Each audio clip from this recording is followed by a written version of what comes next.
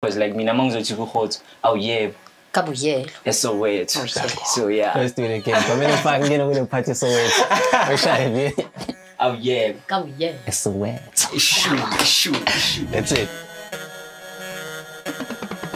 Combo, combo, Kombonation. Now you've probably heard or seen something from this duo. We're gonna break down how it all started with two people and how it eventually became a nation. Let's go.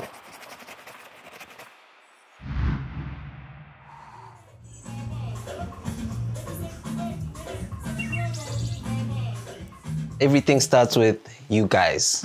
Before the photography, before the streetwear, events, music, you guys met. so 2015 ngumntana oziphumile es- esikolweni guys. young as a motherfucker i am 18 i'm fresh out of high school in fact i was still writing my finals when this guy asked me to ukuthi azongishuta at the end of the shoot we decided to have young Ah yabo sibambe i-mcdonalds mesibambe i-mcdonalds manje mina ngilana vele yabo Yeah. Eh. so the way angibheke ngakhona khona manje maybe not the way the way but like he was just staring and i was busy talking kanti he's got a love interest yabo mara towards the end of the year which was ka-november uh, ah, he pops the question Okay. and i was just like oh let's get it bro Photographers, man. Don't, don't, if you're gonna do this, do this the right way. Don't use your models as more. You know? If you're gonna do it, it has to end up like this. But anyway, photography, dog. That's where it all starts. Explain that. How do you get into photography, and what does it build up to? I was introduced by a friend of mine, Ukeleziten Lena, from high school. Nike assista. Yeah. So in that said, I managed to cool down the model, get it direct. eh. Then after that shoot, my friend was like, yo, Ntwana, mele uyizame le nto le. Fast forward, maybe like two weeks later, a friend of mine bought a camera, like a Spanish camera. ew, That's when I started shooting the bohotso ka yona. I was like, ne sa tswele lens. It's Nice. one of those like, if you The basic. basic, basic, Yeah. basic. But Zoom in, zoom out. Yes. Exactly. Then I think then outside of just being his muse, I was also his assistant.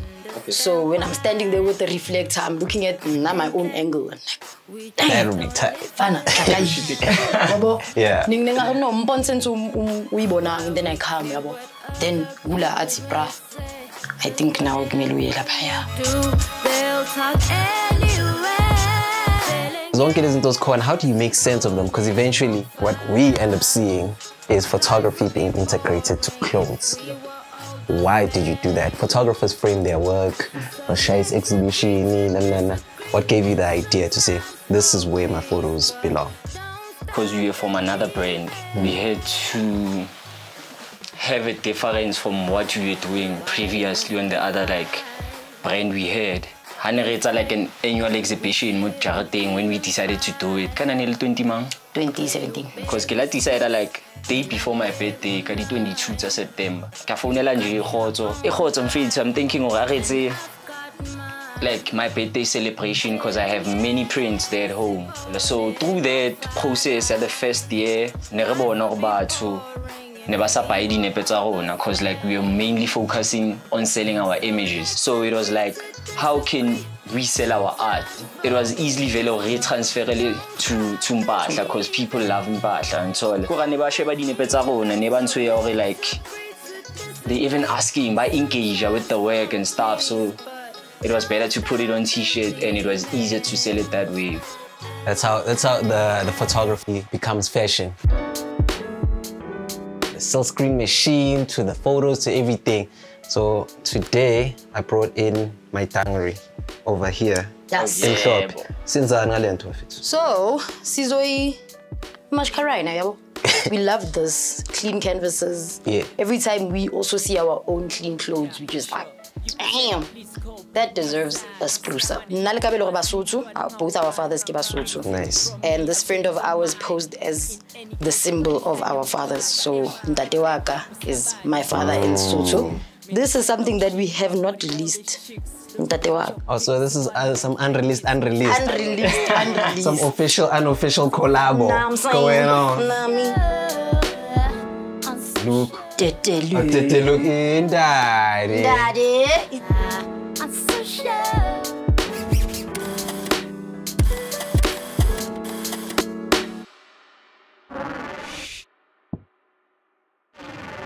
Kabuyelo.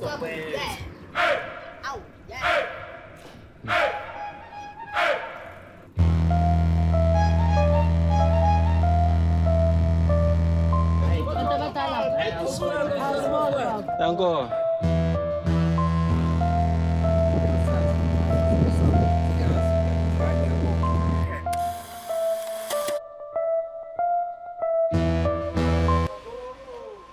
Yeah, ikhombi, ikhombi, ikhombi, Kombonation, a collab of really, really, really rare shit. Humble, but coming from humble beginning, never, ever, ever taking anything for granted.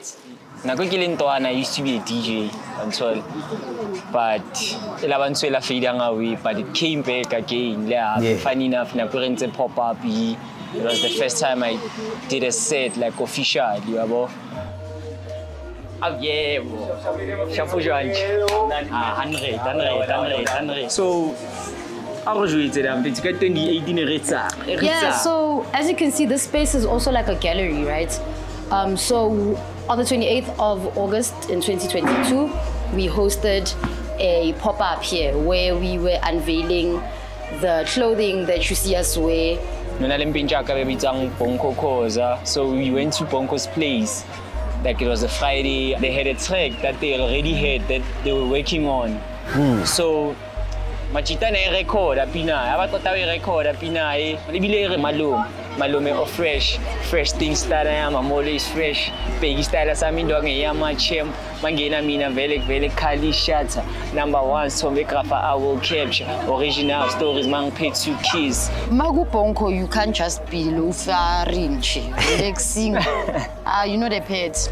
So he says, dude, I know you've never written anything. Today is your day. Then I wrote a song about the smile. My favorite thing about Kabelo is his smile. So I Tell me wrote smile this- and what I- else, man? Stuck inside. Little young girl, don't you cry. so mina mingizivalele ngilalela ama-type beat mangilalela type beat it sounds like something i can jump on with songs that i know i start with Erykah Badu songs and i record myself and then i post it like on instagram yabo. And i'm like yeah. yes yes wait we are stuck inside right so might as well just call these the stuck inside jam sessions and where I started jamming Antlante was well, rewinding it back to this place here uh, in Native Rebels. There was a jam session that used to happen like Kali Wednesday. Ano nna ke kena jazz ka bo ma IMDDP or mang mang. A ba tena o patala ngabo. Eish. So Mara, you know, we used to finesse them and whatnot. That's where I was like, "Ka, stuck inside, I'm able to be free, I'm able to be myself. Yeah. I can cover the way I want to cover, whatever I want to cover. And it was really fun. So music yona has has always been like a part of us and uh, unintentional. a lot of people know you because of events. But the music, your last big event, Uncle Tom's, and I saw you guys performing together. Oh yeah.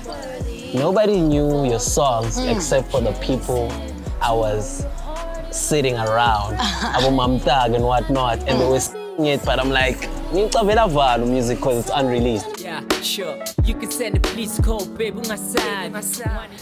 Question is, when are you releasing your music? So we want to create our own streaming platform where you can stream our music and you are genuinely and actually supporting us directly. Basically, we're trying to package everything. Or it's only like music, departure, our image is in just one uh, In a central spot. Basically. But there's one place where I felt like you created a platform to combine all these elements the music, the fashion, and the visual. That's your event. Yes. Your last big event at Uncle Tom's. How did that start? What was the main reference of source? And how did that build up to Leah, event Leah? Because that was an amazing event. How, uh, So we only had one of our three nights happen. In that first night, uh, COVID protocol was observed. Everybody was uh, tested and whatnot. So many people came out positive. Even some of our DJs that were supposed to be playing that night. the following day, now. even the following day, but like even on that night, right? So it then happened Uguti, that was like, damn, Sega, so we had to take a step back. So when it came to Uncle Tom's, Uncle Tom's, it was such a beautiful culmination because then what happens is that it's an enclosed space It's a community hall, but unlike any other. You know, when you get to a community hall, mongena pool, segui hall. Lapaya, you know, there was pockets of spaces where you could experience things before you actually get to the main event. And the beautiful thing about it is that it was or is a venue that is right behind the Hector Pieterson, which is a space that is about the history of the youth of Soweto. Then Tina, we are doing this thing showing the youth of Soweto today, how we are living today, how we are surviving or thriving, in fact, because uh, contrary to common belief, Soweto, it's not that great of a place. Uh, you're not supposed to be, you know, flourishing, but here we are. We are both so. It was such a beautiful uh, weekend, like of of of experiencing Guti Dam. Like, there's so much hope still, like from where we come from. Yeah.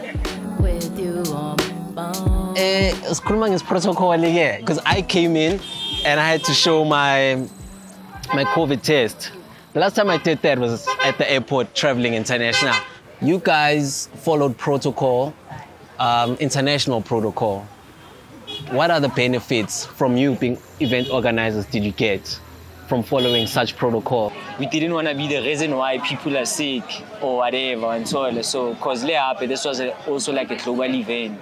So it was a thing of like we had to do things properly, especially for safety and security about and so on. it was very important for us to make sure that people were safe because what happens is that it was only maybe like way after that people remembered ukuthi yazi ngithestile mengingena laphaya otherwise the experience that you have when you're out when you're inside after ukutesta ukhohle nokukhohlwa ukuthi testile. it's things to see great music great vibes you know The event space is amazing because I come as a fan, to be honest. I came to your event and I was like, yo, I remember doing something like this. Not as good as this though. Because I felt like you guys hit a level that I and my crew and the people I was working with hoped to hit, but never reached. And that's why when I saw it, I was like, I get it. I totally get it. And I love it and it inspires me. I never thought like, when we did it at home there in our studio, like interaction it was so amazing. And when we got this opportunity to make it bigger, it was like, "Ah, e all this time. It's more about experience without kile like, uh, cause kgale re shoota di-events le rona before, so it was also a thing of like, how can we make an event ezosijabulisa like thina O kile wa bona like cause we've always seen ups and downs like good events I rate ntho e so a ke rate Yeah. yabo so e fela too late. Yeah. abantu asakubona ukuthi hawu fraypan loya ongene vele a sowuyakokoba-ke manje uh, it's not inclusive. Um, now I love the fact that people that are getting booked and whatnot are winning. You know, everybody is is getting booked frequently and they are winning. But especially where we come from, there's so many like uh, uh, uh, talented people that never get those kind of platforms. So that weekend we made sure ukuthi the people that we know, we put them on. Yabo, asikubhuki nje because sikuzwela ubuhlungu. Sithi siyakubona umthwembu, Yeah. deserve this opportunity, and then we give it to you. Yabo. Our